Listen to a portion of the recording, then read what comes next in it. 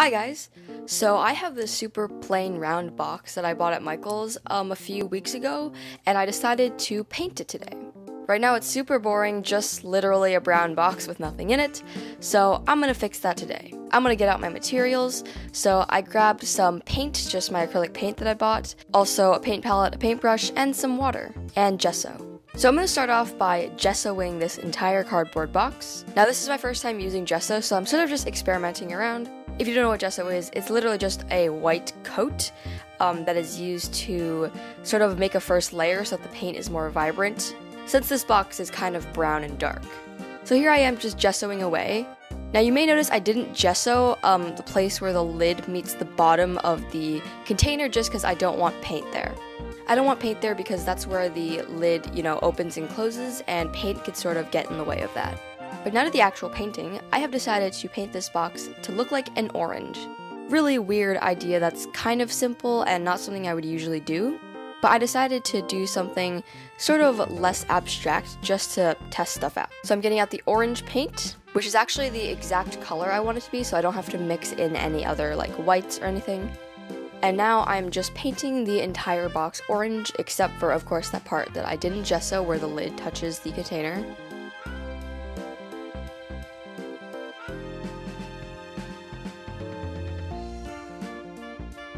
So I have finished painting the entire box with the first coat of orange, as you can tell by my really good looking water. It looks like melted Cheetos.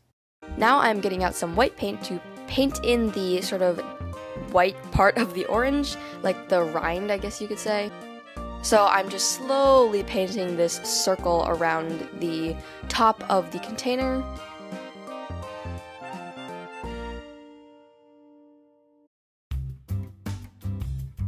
And then I am painting the lines to sort of divide the orange into slices. Now this may look super messy right now, but it's mainly just a sketch that I'll fix up later.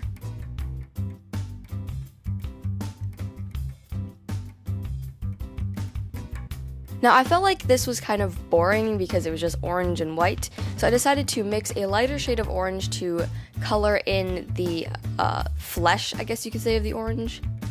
Because in real life, the orange flesh is just slightly a different color from the skin. So I decided to give it a little bit more dynamic by painting the flesh of the orange a sort of paler color. This is actually really satisfying to watch. I don't know why. Just to watch me filling in the sort of slices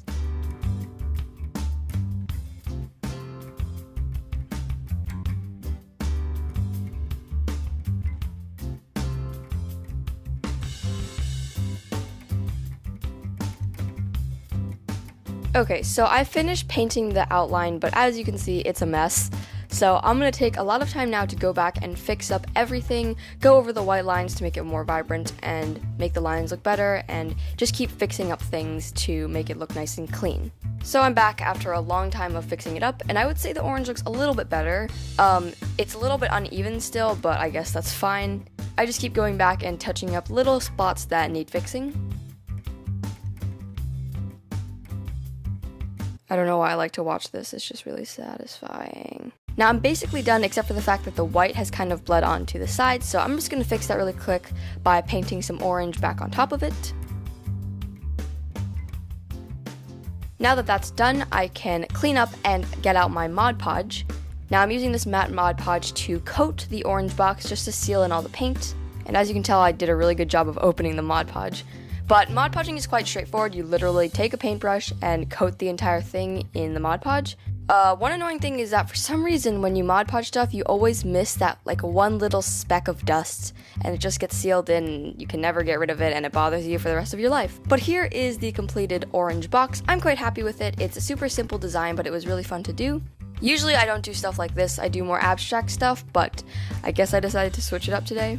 And of course, I put in a little speck of dust and I sealed it in with the Mod Podge, and it still bothers me today, but you know what? It's fine.